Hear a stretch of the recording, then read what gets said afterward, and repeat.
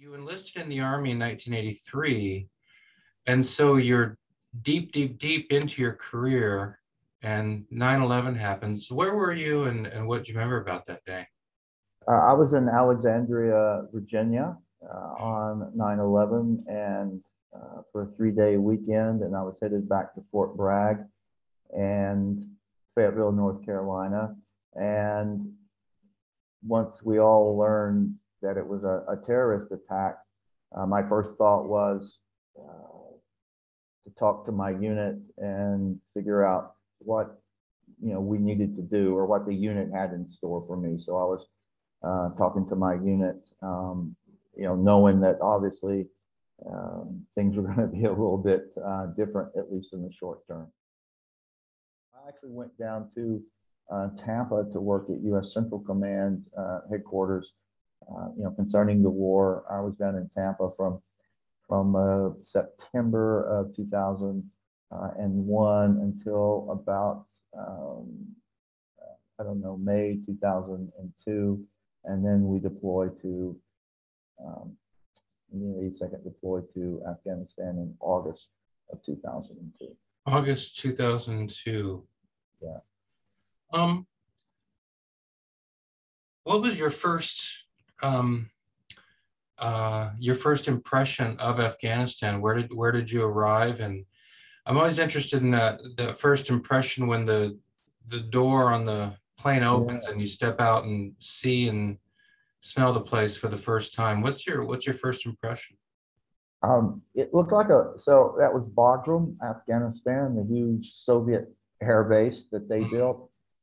The vast expanse of desert and desolation and how high the mountains were was what struck me. Um, you know, I've been out west, I've been uh, western U.S., I've been to the desert, but I had never seen anything like that vast desolation, as I'll call it. So that was the uh, what I felt.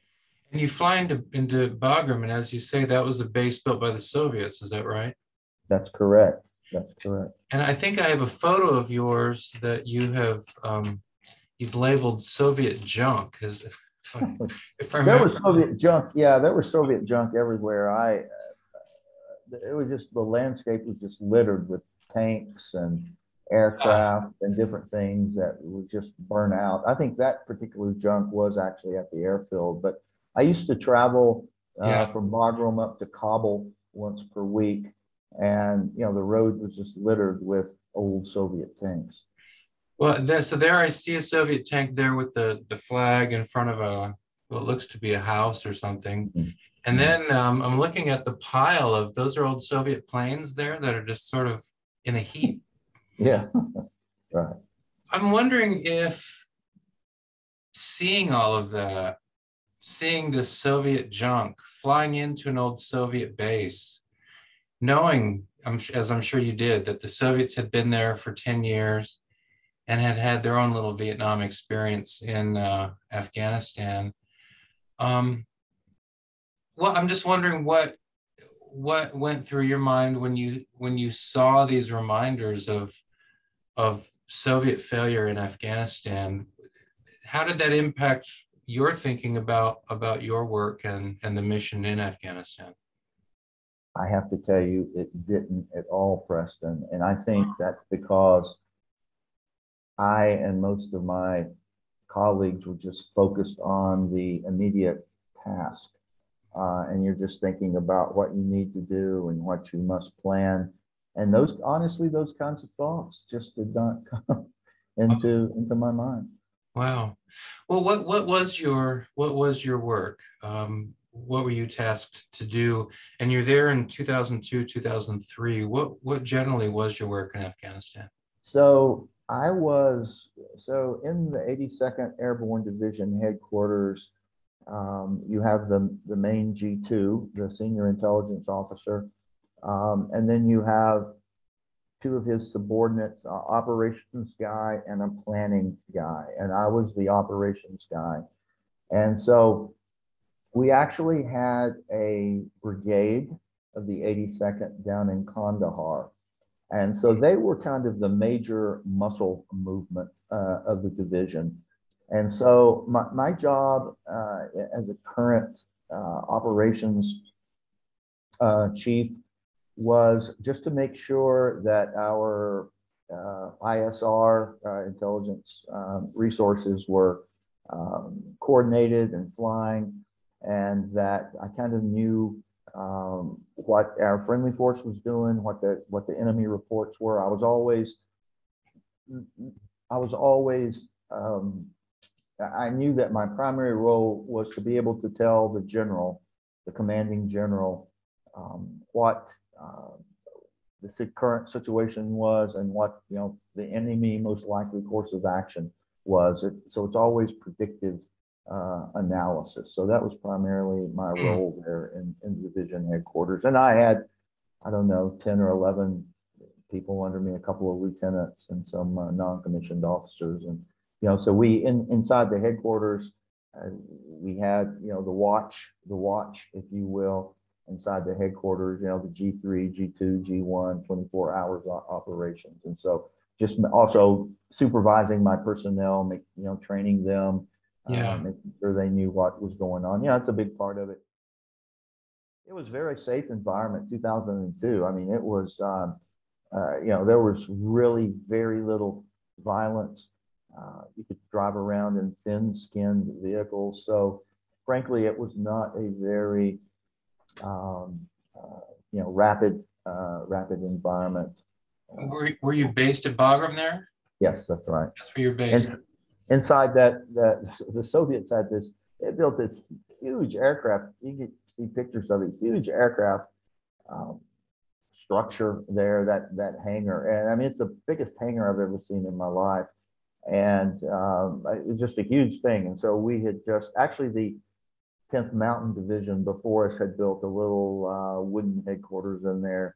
Mm. And uh, so we just, we moved uh, in, inside that at this time, uh, were you able to go into Kabul? Yes, I went to Kabul every Monday and I attended a an NGO meeting, non-government organization meeting. Uh, there was um, some NGOs had formed and uh, there, and they were trying different NGOs trying to do different things. And I went in my uniform uh, just to kind of figure out what was going on. They had no problem with me being there. Uh, and so, yeah, I would, I would go up to, you know, Kabul, I don't know, 45, 50 kilometers or something like that. And um, we'd drive up there in thin skin vehicles and uh, come back. There was never, you know, never, never any problem. So at that time, it felt safe. It was. It felt safe. Uh, yeah, it actually sounds like it actually was safe at that time. Yeah, yeah. Um, and I had actually I had eleven interpreters that I was in charge of. They would go out with their infantry. And so that was kind of an interesting experience being, uh, if you talk about um, things that, that, that you find interesting, I think dealing with them was quite interesting. Here's 11 guys that were Afghans. They spoke good English. They'd never left the country. Now they're working for us. And just to talk with them and, you know, their perceptions. And of course, they all wanted to come to the U.S. Uh, and um, uh, yeah, that that was that was quite uh, fascinating uh, for me de dealing with those eleven guys during that period. Well, and I have your photos here, a number of photos that you took of, of Afghan civilians, including women in the, you know, the full, is, is burqa the right word? Um, um, and I imagine that by this time you had done a fair amount of traveling and you'd seen other countries. What what was your impression um, when you're interacting with these Afghans when you're in Kabul? Um, you're seeing the sights, you're smelling the smells. What was your impression of the country? And, and kind of what's behind that question is, you know, President Bush's idea of not just taking out the Taliban and Al Qaeda, but helping the country to become a, a functional country, sort of as Westerners think of it. Um, and so that's kind of what's what's behind the, the, the question. What was your impression of the culture of the country? I, I really have to say, and this is not to be demeaning to the Afghans, but really just Stone Age and, and tribal. Uh, and if you would ask me, you know, can we try to make a a, a country, you know, out of this place, I, I probably would, would would have said no, uh, because there was just nothing there. They didn't have any, you know, much training, much experience, and you know, we know the history of Afghanistan. Um, and so, yeah, I think just Stone Age, tribal, and um, I never would have thought that it would have been a place that we would have invested so much time and money trying to make it something that you know you cannot make it. Because we think of if i'm if i'm hearing you right we think of afghanistan as a country. We look at a map and say oh there are the borders around a country called afghanistan. But from and i'm interested in your response from talking to people who spent time there and who have interacted with the folks there what i've heard i'm interested in what you think that the people who live there don't think of afghanistan as a country. They don't have a concept of the country of afghanistan. They have a concept of their group of their tribe. And this idea of making afghanistan a functional country is just not going to work because the large majority of people who live there don't even have don't even get that concept. It's just not a concept that they that they live with. Did, what what do you think about that? Uh, that yeah that's 100% correct and if you read articles on why we failed in afghanistan a lot of writers will point that out that we tried to impose a federal system uh, on these people, but they are just community based, tribal based. That's their outlook. I mean, Kabul might as well be Chicago.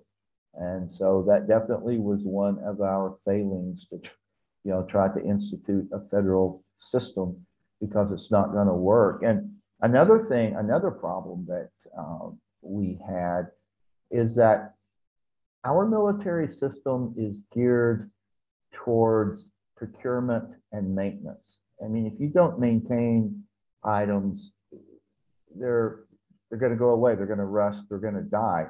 And many of these countries, I mean, this is the way it is. I mean, Iraq and Afghanistan, they don't understand, frankly, that at least in their militaries, the concept of maintenance.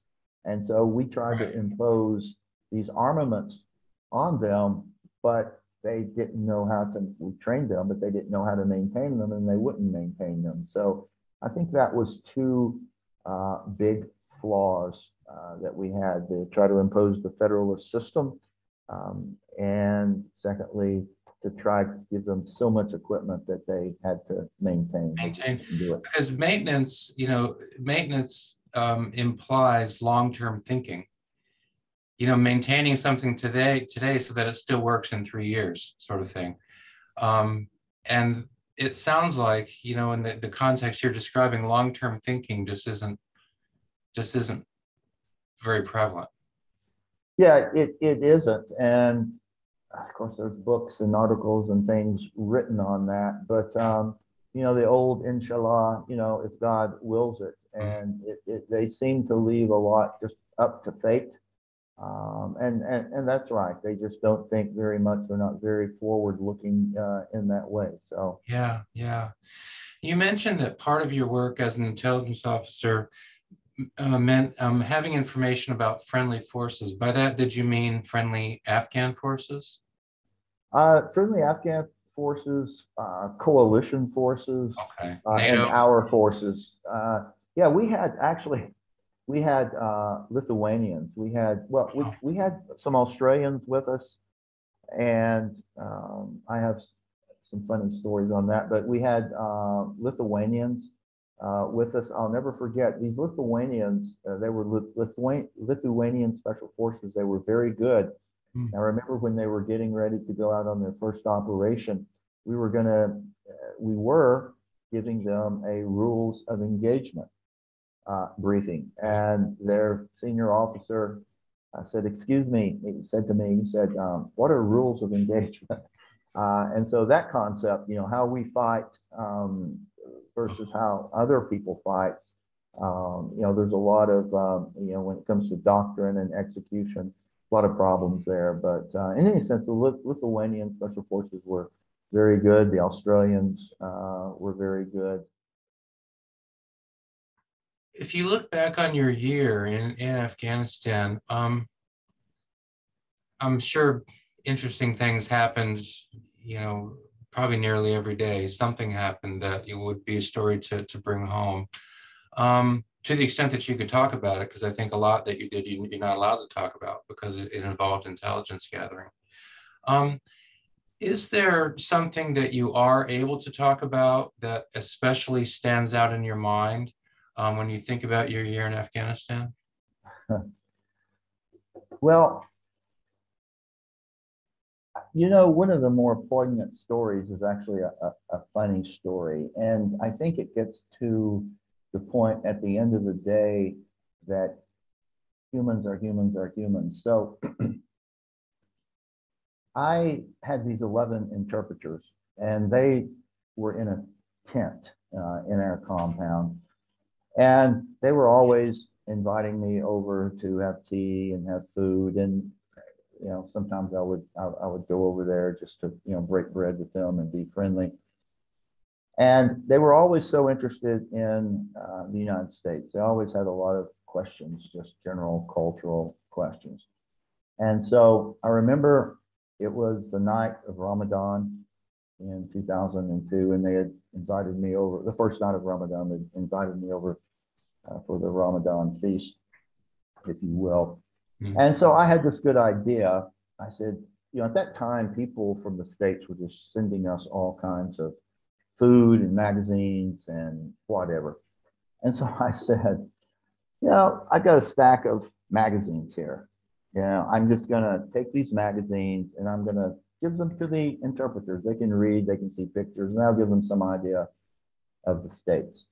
Yeah. So you might know where this story is going here. So I, I go over there and I get in the tent, and one of them's you know praying, and, uh, and they all gather around me. Oh, what do you have? And I'm like, well, you're interested in the U.S. So I brought some magazines, and uh, this one is about hunting, field and stream. Oh, Major Carter, oh, American forests are so beautiful. I really like it.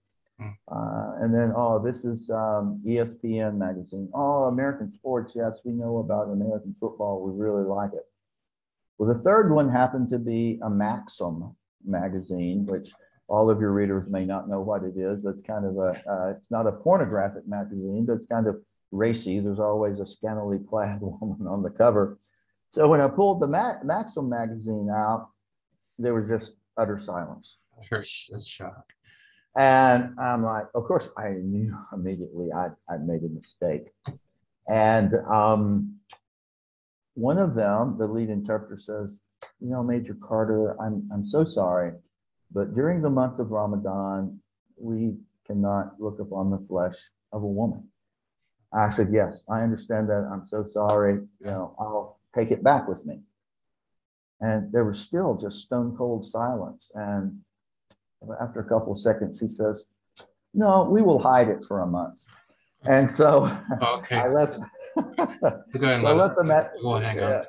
Yeah, we'll hang on to it. Uh, and that's, I guess, when I kind of realized at the end of the day, you know, people are people are people. We all kind of have all the, the same needs. I think that kind of leveled the, the playing yeah. field for me and, and, and realizing we all kind of want the same things uh, in life. And I, you know, so, sorry that that's my most poignant, uh, you know, moment. But uh, otherwise, just the point, uh, getting back to my original point, just how desolate the country was, how uneducated the people uh, were. Uh, we're not going to be able to make a lot out of this. I don't know what we, the United States, is trying to do here, but I just don't think we can do much with it. And I think that was my major takeaway. That's a, that's what I was going to ask you. When you left in 2003, you know, it sounds like you're saying your sense was whatever we're trying to do here isn't is. I mean, beyond killing terrorists, you know, but uh, apart from that, in terms of nation building or something, whatever we're trying to do, it sounds like you you already thought by 2003 it's not going to work. Yeah, and I think most people uh, there, you know, would would feel the same way. I mean, let's give them health care, uh, let's inoculate them But when you try to go into nation building uh, with a, another geographic area where the people are all rivals with each other, they don't speak the same languages, they don't want what we want. I mean, it's just not gonna gonna work. So, Mm. uh, boy, it was just a bad road to uh, go down. But you know, that's the one we that's the one we took. So yeah, I would think most of the people after a month in Afghanistan would have told you the same thing. Wow. And yet it goes on for what, 20 years? Yeah, unbelievable. I'm guessing uh, as you're in Afghanistan, you, you're you must be you know generally aware of the debate about Iraq and weapons of mass destruction and all of that. I'm guessing that you're probably too busy in Afghanistan to be being to uh, be paying attention to that in detail. I don't know, but now as we transition to Iraq, and then you know I'd like to maybe hear some comparisons Iraq Afghanistan. Um, where were you, especially I think in light of what you had just experienced in Afghanistan, where was your own thinking on this whole, you know, fervent discussion about what we're going to do with Iraq? Of course, there is the invasion in Iraq. I think the invasion of Iraq takes place before you get home from Afghanistan. If I actually, I, I actually Preston was not there an entire year. Uh, in fact, one of the reasons I came back uh, a little bit early is because the rest of the division was preparing for Iraq. So we were trying to fill holes, you know, everywhere. We had people in, we had one brigade in Afghanistan. We had two brigades getting ready to, to go to Iraq. wow, And so actually in Afghanistan, we were keeping up with what was going on because the division was gonna, you know, we all kind of knew, I think, that we were gonna go to war. And so we were mainly focused on, you know, how, how's this gonna affect, you know, the division? How is it gonna affect their personnel here? Lots of moving parts. So actually we were uh, keeping up with that. And, Yeah, and, and as I said, the, the, uh, because, you know, you could be in Afghanistan today and they say, hey, we need a body, you know, the division needs a body, so you're gonna go with brigade to Iraq. So, and the, the atmosphere, as I mentioned, the threat level was, was not high in Afghanistan at that time, so we did have time to uh, focus on it.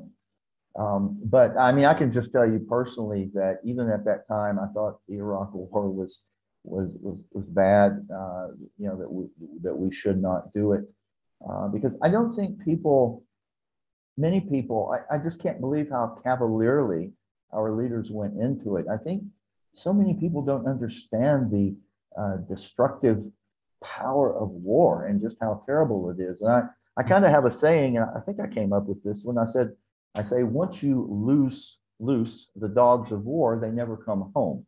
Uh, so you look at Vietnam now. There's Americans and Vietnamese who are still experiencing the effects of that war, uh, mentally and emotionally and physically. And so once those dogs of war go down range, man, uh, everything is, is different. So yeah, um, I, I just did not think this was a, a good thing to do, but you know, who am I? I'm a major in the U.S. Army. So really, I guess, you know, my main focus is how is this going to affect the unit? How is it going to affect me? And you just kind of, you know, do what you need to do to, um, whatever you're going to have to do, you're, you're going to do it. wow. Was that sense you had that, um, you know, this mission in Iraq, whatever, you know, of course, we don't know how it's going to unfold. Um, but your your sense that it, whatever happens, it's not going to be good. Was that partly shaped by what you had seen and experienced in Afghanistan, or do you think you would have come to that conclusion even without the experience in Afghanistan? Wow, that's a that's a good question. I think it was just the fact, Preston, of just going to war, the commitment that it was going to take. Uh, got you know two wars going on at the same time, so I think it was just the enormity of the task Mm. uh, at hand of going to war. You know, again. Yeah, Frankly. yeah. Now you actually your uh, service with the military ends is it 2004? 2004 uh, is when I retired. I uh, quick funny story. I don't know if this is, uh, you know, if, if you're into funny stories, but I just real, real quick.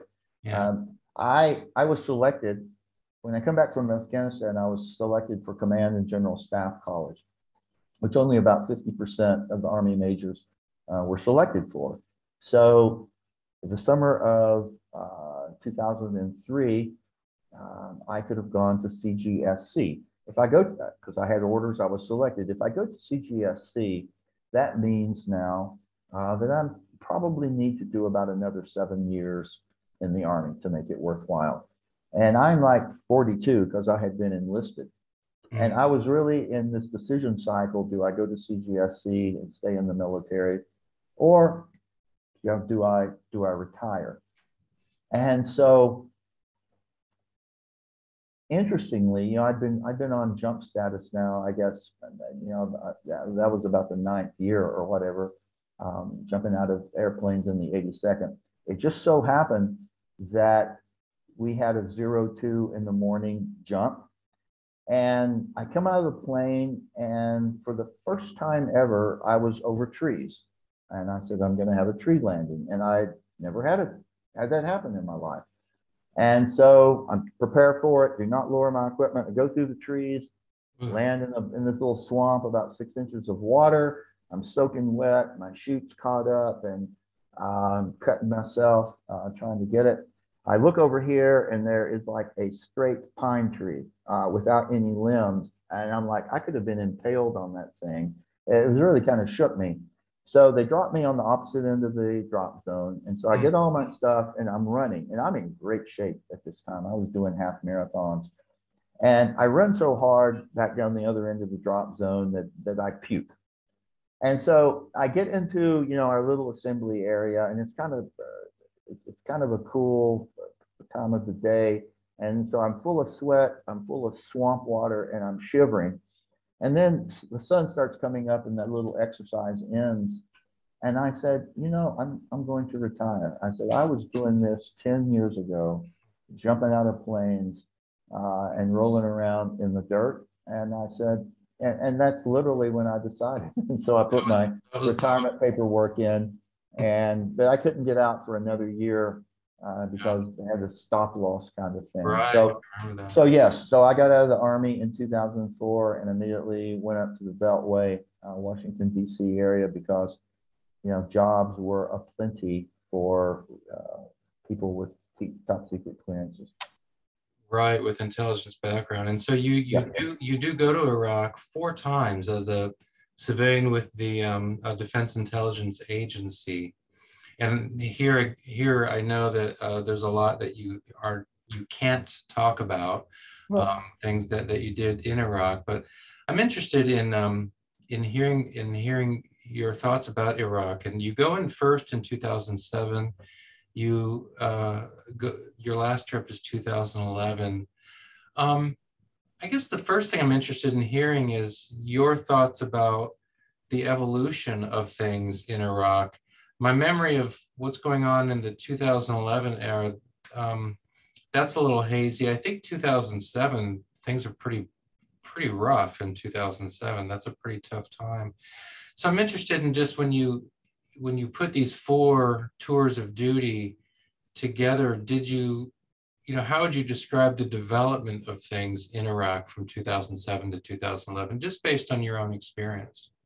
Well, I can tell you, and uh, there's a little bit I can I, I can tell you. So I, I'm in this um, Iran Iraq cell in the Defense Intelligence Agency, and we are rotating people in and out of Iraq. And where most of the people are going is um, United States Forces Iraq headquarters. You know, the intelligence cell there in that perfume palace. And so in that in that palace, United States Forces Iraq headquarters element. Uh, you, had, you had the G2, uh, and we had different teams. We had the, um, uh, so intelligence analysts were working different things. We had the uh, Al Qaeda team, uh, we had uh, Iraqi police team, only focused on Iraqi police. Uh, we had the Sunni team. I actually was a Shia uh, team leader, so I, I focused on the Shia exclusively. And so for my, so, so for one tour, I did that. I had two tours where I went to JSOC up in Balad, Iraq, which is uh, Joint Special Operations Command, was just purely targeting. So I lended my intelligence analyst to the targeting cycle, and that, that's all we mean- did. Identifying and targeting the bad guys. The militants, yeah. Yeah. That's okay. right, the, the bad guys. And so it was just a human, uh, you know, going after humans, you know, going at the operators would go after bad guys. I was not an operator, I was an intel guy, but I helped develop the targets uh, for that. So because I was a Shia militant guy, here's, here's what I saw. You know, we installed, we helped Maliki, who was a Shia, come to power. And that really fused the Iran uh, and the, the Shia uh, in Iraq, uh, that, that fused that alliance. And so there was a problem in that the Iraq government was sympathetic to Iran and to the Shia militias. But Iran and the Shia militias uh, were our enemies and they were killing Americans. And so that was always the tension. When it came to the Sunnis and Sunni militants, that was, I don't want to say easy, but you know, the Iraq government was happy with us targeting AQ, uh, ISIS, and all these Sunni militants. They were fine with that. You know, they don't like Sunnis anyway. But when we targeted the Shia militants, uh, it was more of a, uh, a, a sensitive, politically sensitive issue. So, for example, if you were going to target to capture or kill a Sunni militant, you didn't even have to identify him uh, uh, only as a militant. That's all you needed to know. So, you know, uh, if you if you've got, you've got a cell phone or you see some act or whatever, and he's going down the road, you know, you can you can kill the guy. He's a Sunni militant. But with the Shia, uh, we we had to identify who the person was. All right, uh, because they wanted a, a, the Iraqi government wanted a better level of fidelity uh, on who we were targeting, uh, because they didn't really like that we were uh, targeting Shia militants because of that alliance of that alliance, but we did, and so that was one major source of tension, and then the other major source of tension was around this time, 2007. Uh, some of the Shia militias said they wanted to reconcile with the U.S. Um, and we took part in that. And there were some of us who were vociferously arguing against reconciliation, uh, just saying that it was a political ploy Mm. uh, on, on the Shia militant side. But the leaders, the United States Forces Iraq uh, and the State Department, um, higher ups, uh, felt like there was some promise in it. So we went down that road for a long time and then it blew up in our face and uh, it, it, it didn't work. So I think those were the two major tensions. And so that was my takeaway, Preston, in that, wow, you've got this friendly government we're having to deal with, but yet they are sympathetic to Shia militants and, and to Iran. So it sounds to it sounds to me like although in Iraq there there's there might be more of a conception of a nation than there is in Afghanistan, it sounds like still though there's there's a commitment that among many at least that's deeper than the idea of the nation of Iraq. It's a commitment first to my group. Is is that right? Is this another Absolutely, yeah, that's, that's, that's absolutely uh, the way it is. And you know, if you look at these hard, I'll say hardcore, I'll use that term. If you look at the, the Sunnis and the, the Shias, the ones who are really, you know, religious, I mean, they feel that the other is apostates more so than they feel the Jews are apostates. I mean, because they feel that the other group abandoned the true religion. And so they hate them more than they hate, you know, it, it's hard to get your head around Wow. that, but you know, Shia militants hate Sunni militants more than they hate Jews or Americans because, you know, the Sunnis abandoned, you know, the, the true faith. Maybe we're just ignorant, you know, we've not come around. And so absolutely, it was all about ethnic cleansing and they were continually fighting. And, and you've got the Kurds up in the north uh, that were probably our true ally. And of course, they, all the groups just, they, they did not get along.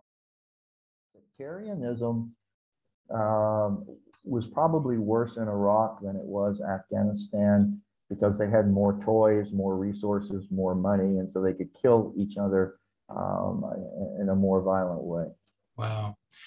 Um, now you said that in Afghanistan you went and went into Kabul and uh, you know you're taking photos of locals and uh, you know interacting. I imagine you're going to the market and things like that, or at least seeing it. Yeah. Um, I am guessing you're not having these kinds of casual tours uh, in the city in, in Iraq. I am not because you know I now I mean before I was a, a, soldier you know I had a clearance a top secret clearance and all that but now I'm in a very sensitive position and always thinking about kidnapping or, or whatever. So I mean I, there were times I could have gone out uh, in, into Baghdad or Balad uh, but no uh, absolutely not just because of my position and you know to capture an intel guy you know that would you know, be a pretty, it, so yeah, it's dangerous. So Right. I never did. So was your was your service in Iraq then? Um, was it really flying, basically flying from the U.S.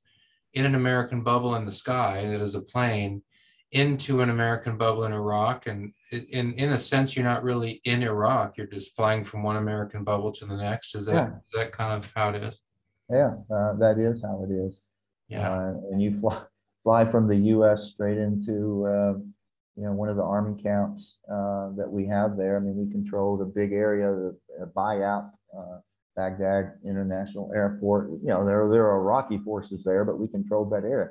So yeah, you're absolutely right. And so as an intel guy, I we would make our reads based on national intelligence, the you know the signals intelligence, the geographic um, intelligence uh, from HUMINT. We would have HUMINT collectors, you know, Americans who were out Human there, intelligence. you know, Yeah. collected, yeah, yeah, HUMINT. And so we would take all of these sources and fuse them together and uh, a- a- attempt to um, uh, do, you know, future, future and predictive analysis.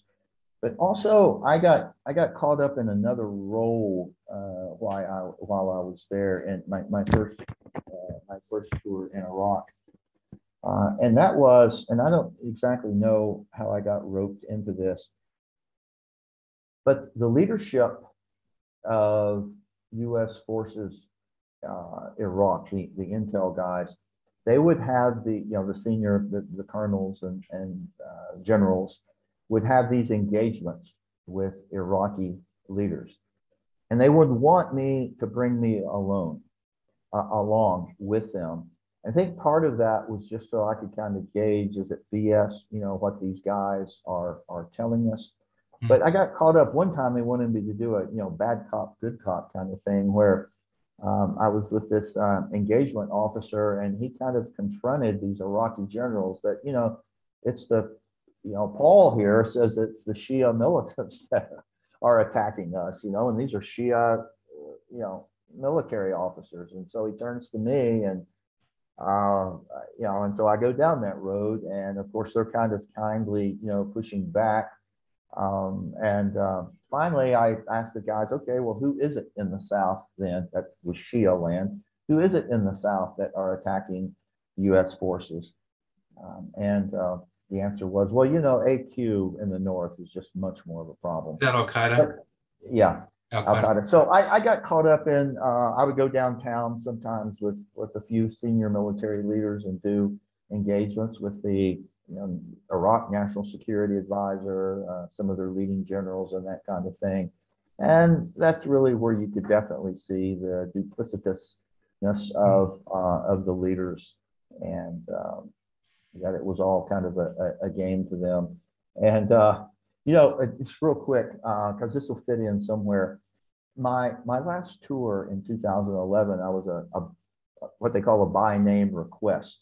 There was a major Shia attack in January of 2011, unexpected attack. And the command element of US forces in Iraq actually sent a request to DIA to, to have me sent out as a special advisor to the J2, a, a two-star general. And so I went out there Um, and I did that and I advised him. But I'll never forget one time that our senior generals had come back from a conference from the Iraqis and they were upset because the Iraqis had said, you know, you Americans have been here uh, for, you know, how many years and you've never really given us anything and done anything for us. Well, of course, you know, we'd spend a ton of money on hospitals and all this kinds of stuff. But Preston, one thing that we, we don't do that I think we should do is that we went into Iraq, we, we gave all this aid, building roads, building hospitals and all this. And we would say, this is the Iraq government doing it for you because we want to build up the Iraq government in the eyes of the people. And I get that. But then when you leave, nobody knows really what, what you've done. And I remember Iran, when they would come into Iraq and they would build a hospital, uh, they would have an Iranian flag and we would say, we built this for you. So, you know, I, I really think in the future, that's what we need to do. You know, we need to have the US flag. If we're, if we're doing things for whatever country, we need to say we're doing it, not just say, oh, your government is doing it. Yeah. Were you there by chance when the incident happened, when the journalist threw the shoes at President Bush? Did you happen to be in country at that time?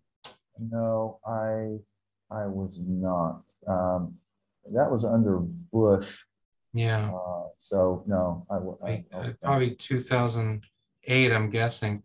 Um, do you have any recollection of your response to that event? Uh, yeah, it didn't surprise me. I mean, you you you know these most of these groups and leaders are there's no loyalty you know uh, as you know the old saying countries don't have friends they only have interests. And that was the same thing with the iraq government. They were just I mean, they don't really care for us they don't like us we're yeah. we're, we're not muslim. I mean it didn't surprise me whatsoever. I mean just that's the way things are and they just want to try to get out of us what they can and that's, that's what any nation would do around the world i, I guess. Sure you said that after about a month in Afghanistan, you had concluded that you know any thought of nation building in this place just isn't going to work. Um, how how was your thinking about Iraq? Did you at any point along this um, journey from 2007 to 2011 did, did at any point did you think well maybe this can work maybe Iraq can be a, a secure functional society. As as President Bush spoke of it, you know, sort of a democratic light in the Middle East sort of thing. Did you at any point think that that was plausible? No, because I saw the sectarian fissures. I saw the ethnic cleansing of neighborhoods yeah. in Baghdad. Never once. I, I thought if this does become a, a functional government and society, it'll just be, you know, by accident because they've just bled each other to death and they just finally figure out it's best to, to get along the, the, traditional mindset of people is that a, a, a nation like the US goes into a country and we start pulling the strings and we start manipulating. What we don't realize is those people are manipulating us uh, mm. as it's natural to get what they can get. You know, they give us, oh, these guys are criminals over here, you know, so that we will target them. Or they do oh, I can get you this, Americans. Yeah, I can help you with this, you know, and they start a business or whatever. My point is, is I think we're we're ignorant as Americans that we think that we're the ones pulling the strings, but these people down below are trying to use us, the Amer the largesse of the American government, just as much as we're we're trying to use them. And there's all kinds of outputs and outcomes that occur because of our reaction to their manipulations. You've given us a general sense that here's a country where sectarianism is very strong. I think again we're looking at nobody's asking the question what's what's best for the country as a whole, or not very many people are asking that question anyway. Um, that is people from that country. Um, did you have a sense that that you know that um, there were elements of of the Iraqi system that were trustworthy, that could be counted on? Or was there always a sense that, you know, if something comes up, these folks that are with us now, they could they could be against us next week. No, I think in every country there are honest brokers.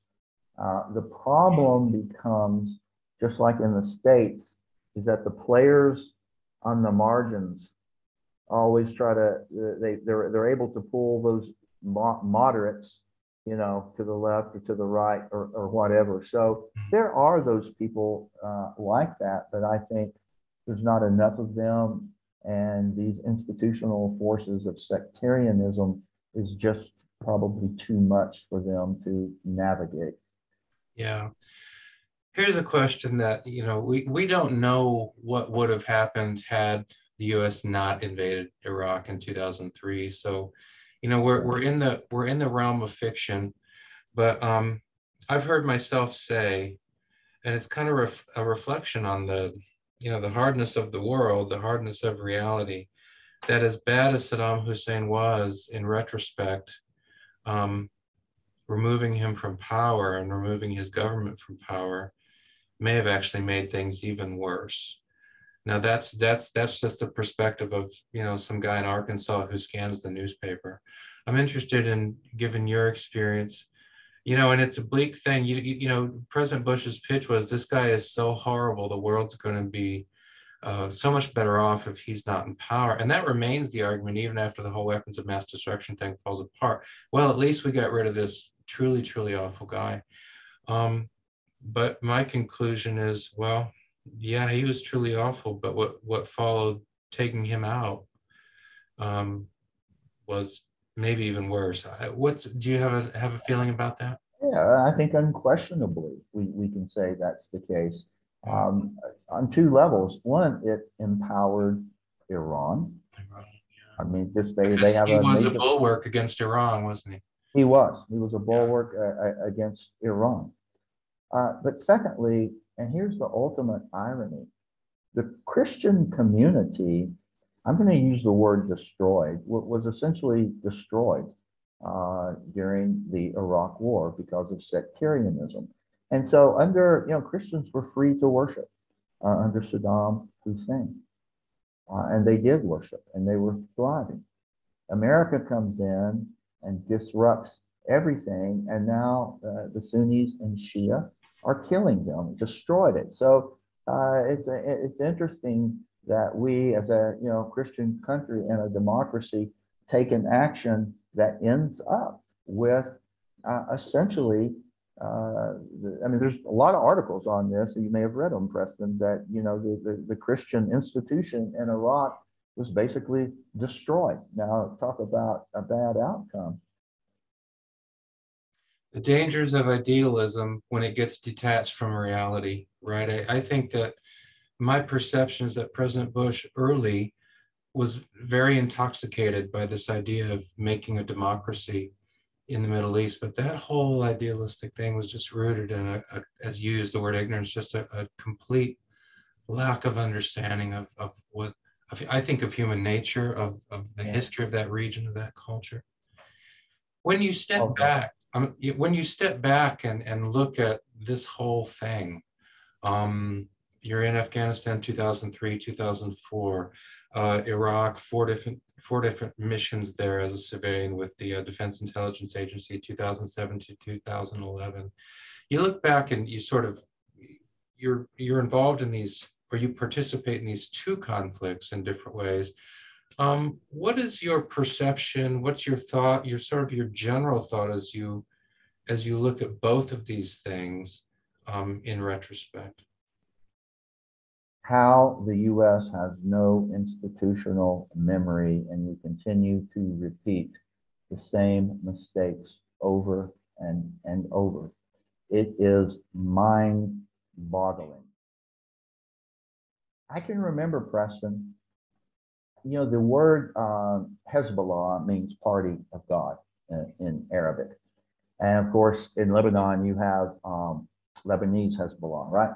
So I remember I was in Iraq every year, and I remember every time a new uh, brigade or division would come into Baghdad, you know, they'd rotate every 12 months or whatever. I mean, I could set my clock, you could set a clock to this the intelligence officer would say, "Oh my God, we have we have Hezbollah operating in our sector," and I had a little handmade, ready to make sheet of like the six Hezbollahs in Iraq. You know, uh, they were all political parties. Mm. You know, and I'd send it to them and say, "No, these are political parties in your in your."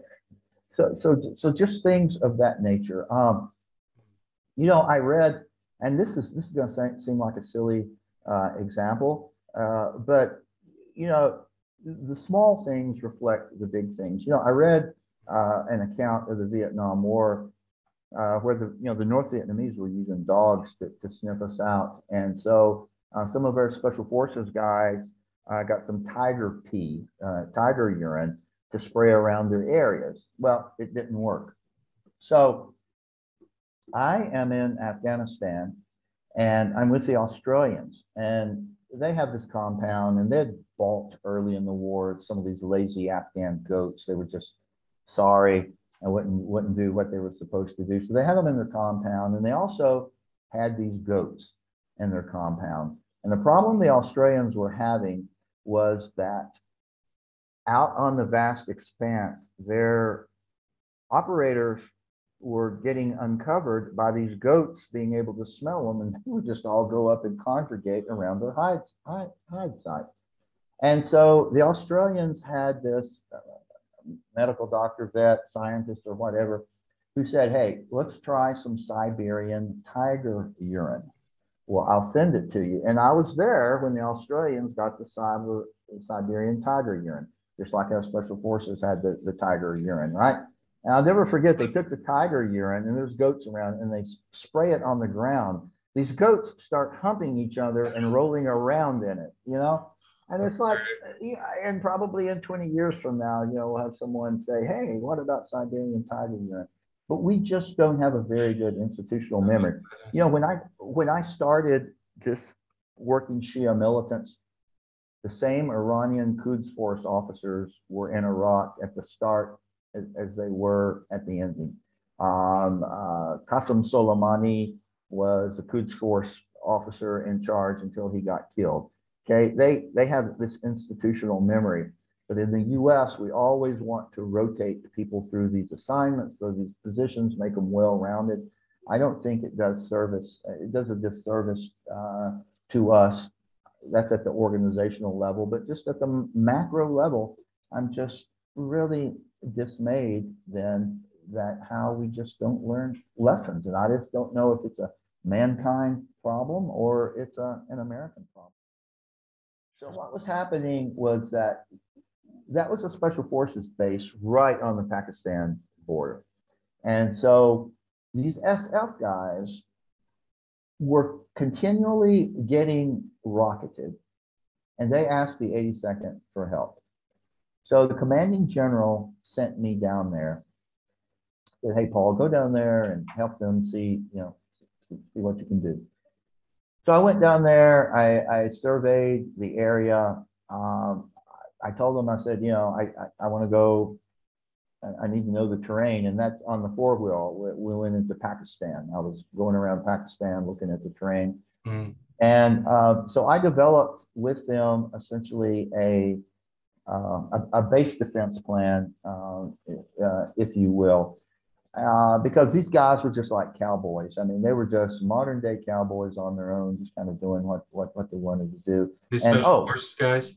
Yeah, the special forces guys. Oh, I- I'm sorry. We gave them a platoon of uh, LRS, long range security detachment guys. And so, yeah, that was the concern is that we were giving them a platoon. So the commanding general of the 82nd says, Paul, you know, we're going to give these guys up for a while. So I want to make sure, you know, they're taken care of and these guys aren't using them uh, just for however. So I went down there to Lawara to help set up the base defense plan, make sure our guys aren't going to be, you know, cannon fodder or, or, or whatever. But, you know, the, the, at the end of the day, it was on the Pakistan border, not much we could do. And it eventually was shut down. Then I guess it was opened back up called Firebase Tillman. Um, and then uh, I'm down there, it's me holding the 107 millimeter. They had captured that uh, down there. But, you know, when you're on the Pakistan border, I mean, what are you gonna do? They're shooting at you from Pakistan. You just, you know, you just can't really do much about it. You Can't, right, which of course, as you're speaking, I'm thinking Cambodia, Laos, right? Yeah. Or in Vietnam. I mean, yeah, yeah, same mean, thing. you, you, you can, I guess. The Russians probably would, but we don't, so. Well, there, is that an example of the rules of engagement? You know, because Yeah, I mean, yeah, you hear the exact same thing from Vietnam vets. We're taking artillery from across the border, Yeah. but we can't shoot back. Yeah. Um, Yeah, that- that's right. Yeah, and just an example of the similar, Yeah. the many, many similarities, you know, for all the differences, I think especially between Afghanistan and Vietnam, there's so many similarities, including this one, that the enemy had, um, what's the right word, um, had, um, Sanctuary. sanctuary in, across the border in Pakistan. Yeah, quite, quite frankly, I, I think we actually, um, I, I, there, there are certain circumstances, I think we, we would fire across the Pakistani border if there was a, a defined threat that we saw at the moment. Okay. Uh, but, but generally speaking, yeah, you know, these latent fire missions or whatever, you, you can't do them, but yeah, that is a function of the rules of engagement. Yeah, Wow. and sanctuary, you know, and North Vietnamese had sanctuary in Laos, uh, and, um, and the, the, uh, militants, uh, Muslim extremists have sanctuary in, uh, in Pakistan, and so, yeah. Mm, That's something. Now you are speaking from Chiang Mai, Thailand, and how, so how long have you been living in Thailand? Been in Thailand eight years. I've been in Chiang Mai one year. And I came here, I had my GI Bill. And so I used my GI Bill to get a master's and a PhD from Chulalongkorn University in Bangkok. And how I got interested uh, in the story of the, the Thai Forward Air Guides is that, of course, about all I know, Preston, uh, is military subjects. And so I have to have a master's thesis. I have to have a doctoral dissertation. Uh, but uh, an American expat who became my mentor over here, I told him I was looking for a master's thesis, and he says, "Well, I have a subject uh, for you, and that is the Thai Forward Air Guides, and their story had never been told in English. And what the Thai Forward Air Guides guides were were about over a hundred guys that were recruited off the street." uh, in, in Thailand. Their only qualification was that they could speak English. Uh, they were CIA contract employees. The CIA sent them up to Udon Thani, Royal Thai Air Force Base, uh, for a two-week course in forward air control procedures, which our Air Force Special Ops taught them. Uh, and then they were sent to Laos to coordinate our aircraft uh, operations. Um, uh, they didn't control them; they they coordinated them a little bit of a difference, but it's probably the only time, and it, it is the only time in U.S. history in the past and probably the future where we will recruit foreign civilians to coordinate our aircraft operations in a in another country. So these are, story. these are Thai civilians who can speak English and they're in, um, what, they're, they're looking for, are they across the border in, in Laos? They are. And so what, and so what are they, what sorts of things are they looking for? And we're talking about the Vietnam era, right? So Yeah, yeah, it's the 60s into Vietnam the early seventies, yeah. That's right. So what they would do in coordinating, so here's what happened, Preston. Um, in 1970, the US and Thailand came to an agreement uh, because we had no ground forces in Laos, right? And so the Thai said, if you will fund this effort, we will send uh, volunteer troops to Laos to fight the Pathet Lao communists and the North Vietnamese. And they did. And, but they said, uh, and the CIA ran the operations. But what happened, there were so many guys on the battlefield and so much US air coming through that there were some fratricide incidents. And so the CIA came up with this idea, let's recruit Thai, we'll put them on the battlefield, they can interact with the Thai battalions, we'll teach them forward air control procedures, they're talking to air aircraft, uh, and they can guide, um, do forward air control procedures to guide um, airplanes to, to hit the target. conduct, um, you know, aerial or, or resupply operations, medical evacuations, that kind of thing. Because these guys can speak English, they, um, they understand aircraft procedures now, so they can really help us out a lot uh, to prevent the fratricide. So if I have it right, then these guys are on the ground communicating with American pilots and giving. And and Lao pilots and Hmong pilots and Thai pilots, because all of them had air forces. fighting against the the communist forces that are coming into Lao. And my understanding is have the ambition to come into Thailand as well. Well, they did. Um, it it was there's there's some factors that that, that caused that not to happen, but yes, uh, and in fact, when uh, and you know the war ending was part of that, but uh, in 1978, when in December of that year, when the Vietnamese invaded Cambodia, they pushed all the way up. They had, um, I think, eight or 11 Vietnamese divisions on the Thai border. There was actually fighting. You can go back in the Bangkok Post and find, you know, the artillery duels and uh, infantry, some small scale infantry skirmishes between the Vietnamese and, and the Thai. So, yeah, if you look historically, the Vietnamese and Thai have always been, been, been big enemies.